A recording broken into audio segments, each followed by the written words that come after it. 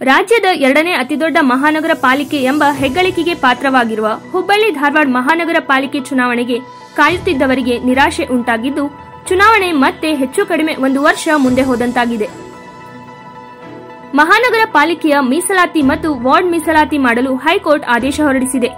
March ಎರಡ್ ಸಾವಿರದ ಹತ್ತೊಂಬತ್ತರಿಂದ ಜನಪ್ರತಿನಿಧಿಗಳ ಆಡಳಿತದಿಂದ ದೂರವಾಗಿದ್ದ ಹುಬ್ಬಳ್ಳಿ ಧಾರವಾಡ ಮಹಾನಗರ ಪಾಲಿಕೆ ಚುನಾವಣೆಗೆ ದಿನಗಣನೆ ಆರಂಭವಾಗಿತ್ತು.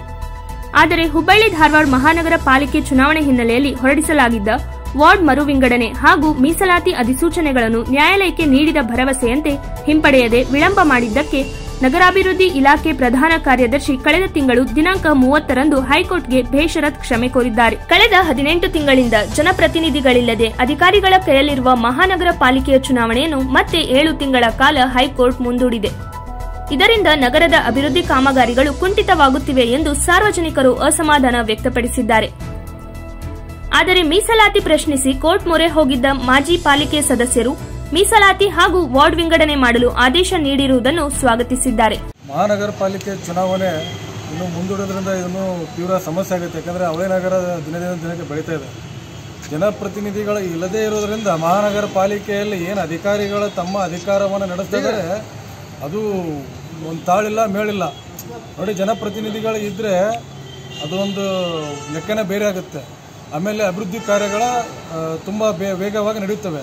ನಿಮ್ಮೊಂದು ಉದಾಹರಣೆಗೆ ಹೇಳ್ತೇನೆ ತೋಳಣಕೆರೆ ಒಂದು ಮಾಡ್ತಾ ಇದ್ದೇವೆ ಸುಮಾರು ಐದಾರು ವರ್ಷ ಆಯ್ತು.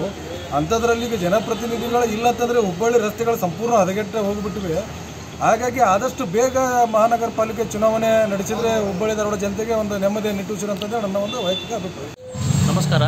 ಈಗಷ್ಟೇ ನಮ್ಮ ಒಂದು ಹೈಕೋರ್ಟ್ನಿಂದ ಒಂದು ತೀರ್ಮಾನ ಬಂದಿದೆ. ಹುಬ್ಬಳ್ಳಿ ಧಾರವಾಡ ಮಹಾನಗರ ಪಾಲಿಕೆ ಒಂದು ಚುನಾವಣೆಯ ಪ್ರಕ್ರಿಯೆಯಾಗಿ ಈಗಾಗಲೇ ನಮ್ಮ ಕೊನೆಯ ಮೇಯರ್ ಆದಂಥ ಶ್ರೀಯುತ ಸುಧೀರ್ ಸರಾಪ್ ಅವರು ತಮ್ಮ ಅವಧಿಯನ್ನು ಮುಕ್ತಾಯಗೊಳಿಸಿ ಇಪ್ಪತ್ತೆಂಟು ತಿಂಗಳ ಈಗಾಗಲೇ ಕಳೆದಿದೆ. ಈಗೂ ಮುಂದೆ ಈಗ ಕೆಲವು ಜನರಲ್ಲಿ ಒಂದು ವಿಷಯವಿತ್ತು. ಇವತ್ತಿನ ದಿವಸ ಏನೋ ಒಂದು ತೀರ್ಪು ಬರುತ್ತೆ.